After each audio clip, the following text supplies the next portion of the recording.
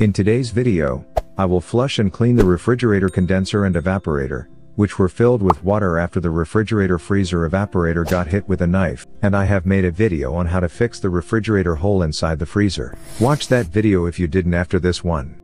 I will make the water out of the refrigerator condenser and evaporator using the nitrogen gas pressure inside the pipes of the refrigerator. Now the benefit of nitrogen gas is when the pipe of the evaporator gets bent. As you can see, these evaporator pipes have bent from the inside. The front wall of the evaporator inside the freezer is okay and has no problem. Now when I pass the nitrogen pressure inside the refrigerator system, these bent pipes will expand. And if these pipes are extra shrunk, they will still expand through the nitrogen pressure. Now I have cut all the pipes installed with the refrigerator compressor. You can see this is the discharge pipe. See, it has a grill installed to transform the water into vapor. And this condenser is openly installed with this refrigerator. So I will make one pair of these pipes and clean them with nitrogen gas.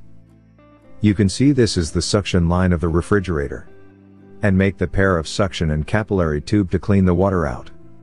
But you must take care when flushing the refrigerator system with nitrogen as it is a high pressure gas. When you clean its condenser, it goes towards the liquid line. So the pressure will have no issue here. You can clean it easily. But when the time comes to clean the capillary tube and the suction line, we have to take care while cleaning them with nitrogen as this pipe is joined with evaporator inside made of aluminum, and if I pass high nitrogen pressure inside the evaporator, the evaporator can blast or can have a hole inside it. Now you can see the nitrogen flushing system is ready to be used. I have attached it with the nitrogen gas pipe directly with the discharge line. With the suction line, I have installed a pressure gauge here. I have installed a valve with it and a charging line tube forward. Through this line, the gas will go out of the machine. The gauge will tell us the pressure that what is the nitrogen pressure inside the refrigerator pipes. Now before giving pressure inside the refrigerator, take a transparent bottle as I have one. Make a hole inside the cap of the bottle. I have also made a smaller hole inside the bottle cap. It was my necessity. That's why I did this. Let me tell you why I am using the bottle and its benefit. You can see that I have installed the bottle with the suction line of the refrigerator. This is where we will get the nitrogen pressure out of the fridge. The water inside will come out of the fridge system. The benefit of the bottle is that all the water will be filled inside this bottle we can analyze the quantity of water inside the fridge pipes. When we clean the condenser of this refrigerator and if water is present in it. This means the compressor also has water in it. Suppose no water is present inside the condenser. It means that only the water is inside the evaporator. The benefit of making the small hole inside the bottle cap is that when the bottle will fill with nitrogen pressure, this small hole will release the pressure out of the bottle. Now I will pass the nitrogen pressure inside the refrigerator. And you will see the gauge will also go upside. And the oil inside the system will also come out. I am slowly opening the cylinder and passing the pressure inside the refrigerator. Now I will close the valve. The gauge has started to go up.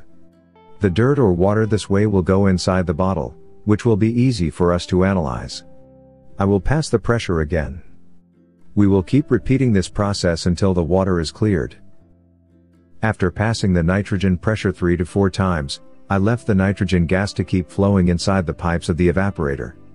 And I will leave it for quite a while. To make all the moisture out of the refrigerator.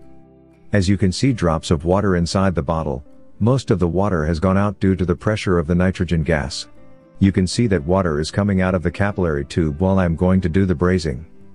And it is coming out continuously. Now I have brazed the second pair to take water out of it. Always take care that pass pressure through the capillary.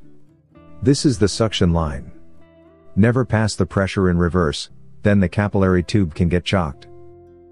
Now I will start releasing the nitrogen pressure.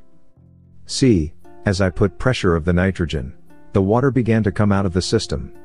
So now, I will leave the nitrogen gas open at low pressure and let the water out of the system. Keep the pressure to 60 to 70 pounds per square inch of the nitrogen.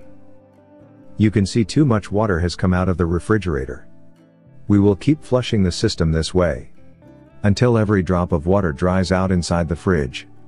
So this way, you will keep flushing the system, and all the water will get out of the refrigerator. But also check the compressor as well that it has water inside or not. This way, you will clean the system of the refrigerator with water inside. This is for today's video I will see you in the next one. Watch what happened with the compressor of this refrigerator by clicking on the left thumbnail. And subscribe. It is free.